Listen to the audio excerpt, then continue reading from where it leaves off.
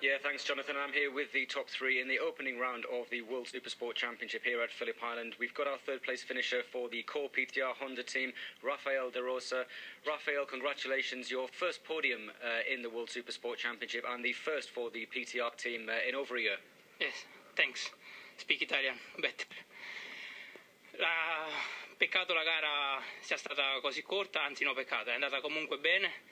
E stato l'ultimo giro è stato molto entusiasmante.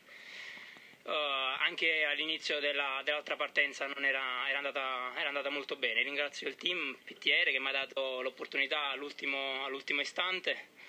Uh, peccato non aver fatto dei test uh, invernali, ma comunque è andato, è andato, bene. La squadra ha fatto tutto un buon lavoro e sono veramente felice. È stato un anno, anni precedenti un po' sfortunato e quindi sono molto felice. Okay, so a short summary in English then for Raffaele, uh, saying it's a shame that the race was stopped. Uh, the second uh, part, uh, very, uh, very close, uh, very action-packed. a big thank you to to all of the team, and and saying that obviously the to, to, to, adapt to the team is very, very hard. But looking forward, possibly to to the next races. Thanks, Raffaele. We move on then to to our second.